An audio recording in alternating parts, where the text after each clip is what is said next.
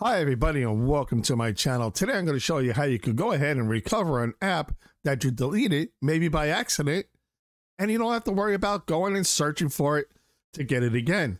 Stay tuned, I'll show you how to do it. It's time for streaming.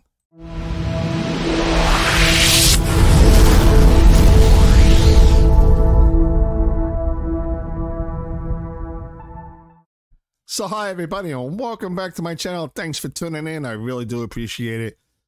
So I'm on the Fire Stick 4K today. And if you're looking for a new Fire Stick, check out my description down below. There's a couple of links in there for different types of Fire Sticks. Go ahead and click on that link. No extra cost to you. I do get a small commission and it does help out the channel to bring you more great videos. So on the Fire Stick 4K, you can use any Fire Stick device that you have. The Cube, the Max, the Lite, or just the 4K like I'm using. So let's say, let's go over to the gear. Let's click on that. Let's go over to applications. After you click on applications, let's go down to manage installed apps. Let's scroll down. Let's find an app. Let's say Haystack News. Go ahead and click on it. Now let's click on uninstall. Go ahead and click confirm. This here is for demonstration purposes only right now. You go on the home button on your remote, brings you back to the home screen of your Fire Stick. Now you're like, oh, I should have kept the Haystack News app.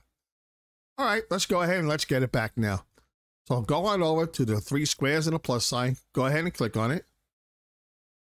Let's go down to where it says App Store. Go ahead and click on that. Give that a minute to come on in. Now what you want to do is go down to where it says App Library.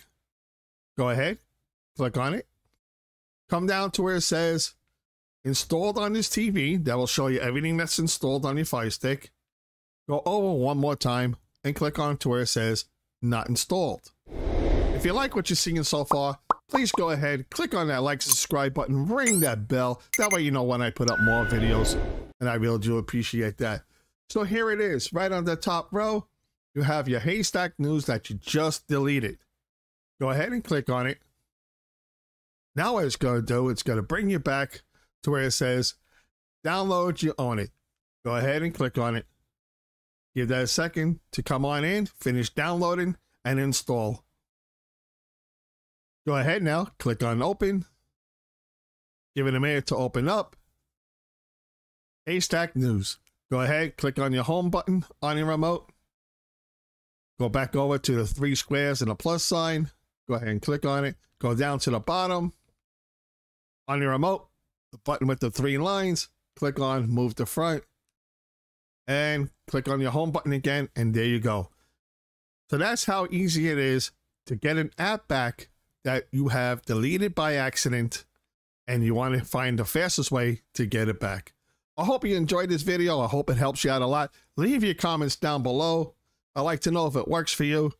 Also, remember, day or night, it's time for streaming.